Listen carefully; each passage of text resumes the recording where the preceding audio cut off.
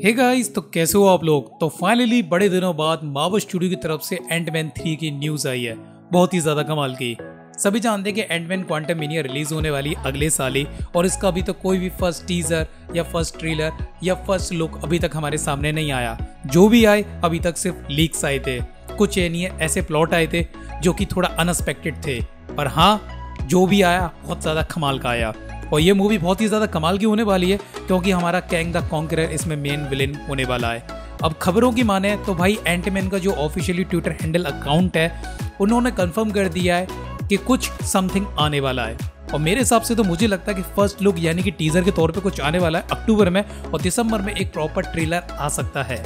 और पहला इसका फ़र्स्ट लुक टीजर हमें दिखाया गया था कॉमिक कॉन में, जो कि ऑडियंस के लिए तो नहीं था, सिर्फ़ उन लोगों के लिए था जो कि वहाँ पर मौजूद थे।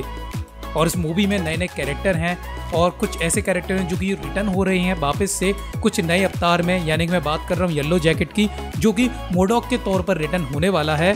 तो भाई, ये तो कमाल का होने वाला है। और मैं सबसे ज़्यादा एक्साइटेड हूँ इस टीजर में, जो कि है कैंग द कॉन्करर और कैंग द कॉन्करर का बहुत सारा वेरियंट अवतार देखने को मिलने वाला है, हमें इस मूवी में और टीजर में ऑफिशियली फ़र्स्ट लुक देखने को मिल जाए प्रॉपर तरीके से तो क्या ही कहने हैं। इससे पहले मैंने एक और वीडियो बनाया कैंग द कॉन्करर के ऊपर, जो कि वेरियंट्स के ऊपर है। अगर आपको वो देखना है तो आपको राइट हैंड की तरफ़ मिल जाएगा।